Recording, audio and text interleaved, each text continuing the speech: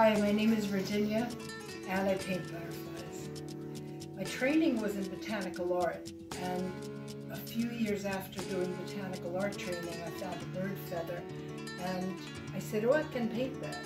And it evolved into painting butterflies.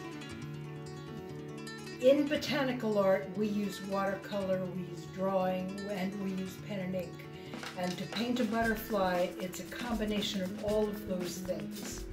First, the butterfly is drawn carefully and accurately, and then the colors and the patterns are blocked in, and the final, final details come last. We don't start thinking about the final details.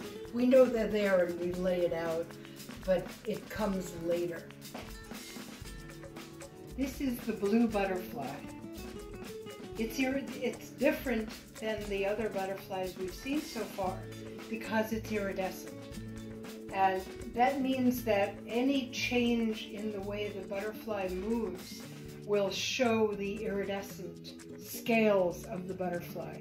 There's also a very definitive pattern in the butterfly.